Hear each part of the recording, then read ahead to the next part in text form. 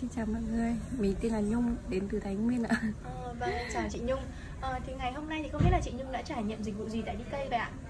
Hôm nay đến trải nghiệm uh, dịch vụ làm môi. Phun môi phủ sơn ba Đúng không ạ? Vâng, thì uh, trước khi uh, ngắm nhìn cái cặp môi mới của chị Thì um, tôi xin mời các quý vị khán giả. Quý vị đang theo dõi livestream được xem cái tình trạng môi lúc trước của chị Thu nhá.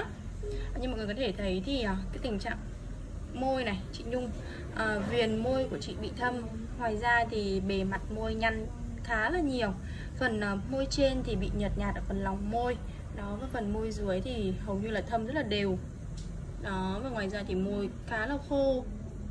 Vâng, và sau khi à, chỉ sau à, à 30 phút, 30 đến 45 phút thôi thì bây giờ chị Nhung đã có một cái đôi môi à, nhìn rạng rỡ hơn, tươi tắn hơn rất là nhiều rồi. Thì không biết là trong quá trình làm môi thì à, à chị Nhung thấy thế nào ạ?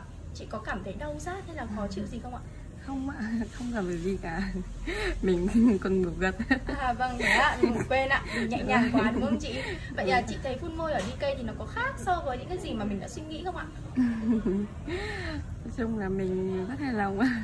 Thế á, vâng.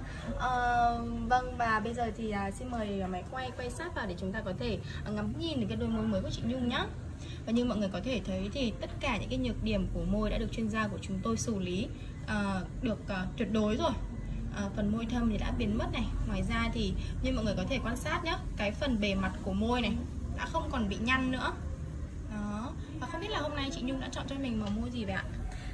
Ừ, Đây là đỏ hồng đỏ hồng đúng không ạ? Vì em thấy nước da của mình khá là trắng ấy Thì à, với cái màu son này thì nhìn cái gương mặt của chị Nhung à, à, sẽ rạng rỡ hơn này và tươi tắn hơn rất là nhiều à, Và vậy sau khi mà làm môi xong tại đi cây thì chị có cái cảm nhận gì về đội ngũ của đi cây? Trước tiên là với à, người trực tiếp làm cho mình này Hoặc là đối với à, đội ngũ tư vấn của đi cây mọi người có chăm sóc chị à, chu đáo không ạ?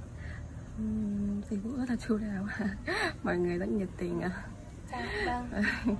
Dạ vâng, cảm ơn chia sẻ của chị rất nhiều Và rất mong là chắc chắn là chị sẽ uh, giới thiệu thật nhiều bạn bè và người thân của mình Cũng đến để cùng trải nghiệm để được xinh đẹp giống như chị Nhung nhá.